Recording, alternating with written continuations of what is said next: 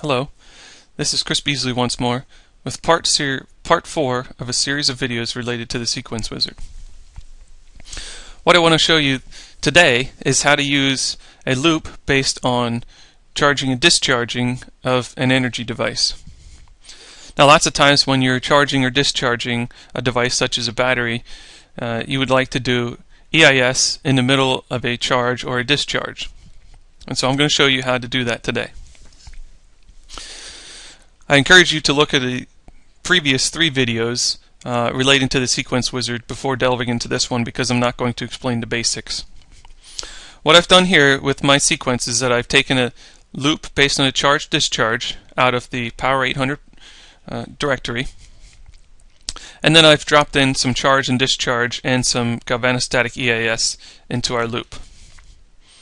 And so when I double click on charge discharge the charge discharge loop. In here I can find a number of cycles that I wish to. I can also input the capacity of the device if known. And then I can define two different loop end loop ends. Uh, what these loop ends are, are these will terminate the entire charge discharge test, not just an individual charge or discharge step. And so I don't have to put, input anything here, but I can if the discharge time becomes less than some limit, or the charge time becomes greater than some limit, or the capacity has dropped by some limit. Finally, I can have the option to save uh, raw data here by checking the checkbox. If that's check, checked on, it's going to save all the raw data for each individual step. If I input a skip number, uh, it's going to save uh, every nth uh, step. So in this instance, if I input skip number of 0, it should save every data file, every individual step.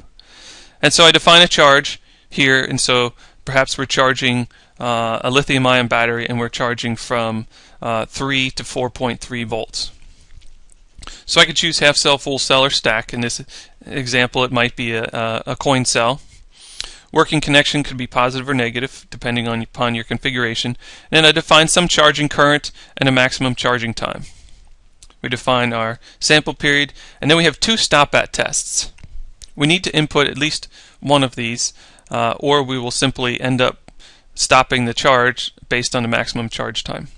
So in this instance, I'm going to charge from uh, whatever my initial voltage is to 3.5. Once that 3.5 is exceeded, the voltage uh, limit is exceeded, we'll stop and we'll run an EIS. I'm going to uncheck voltage finish in this instance because we're not at the final voltage. You can define a second stop at test if you want to. Uh, if you're monitoring temperature and the temperature exceeds a limit or the rate of change of temperature exceeds some limit, uh, you can define those. Typically, though, you might just simply say none. Okay, so that's charging uh, from initial value to 3.5. Then we're going to run a galvanostatic EIS from whatever our initial frequency might be, say 1000 uh, hertz down to, to whatever value we want. We'll click OK. And now for our second part of the charge, uh, again we, we double click on that. And now we're going to stop at when the voltage exceeds 4.2 volts or 4.3, whatever your ending voltage might be. And now if you have a lithium ion battery and you want to add a voltage finish, you can input that here. You check the box and you input what you want your once the current drops below this value or exceeds this time, then the next step will proceed.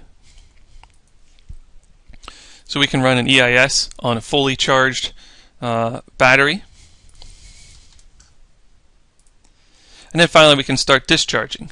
And so perhaps we want to discharge to a particular state, run EIS, and then discharge all the way uh, and start the whole cycle over again. So we're discharging at some, you can choose different uh, discharge modes here based on constant current, constant load, and constant power. And now we can choose our limit. So I'm going to choose once our voltage drops below 3.5, I want to stop the discharge and obtain an EIS spectrum.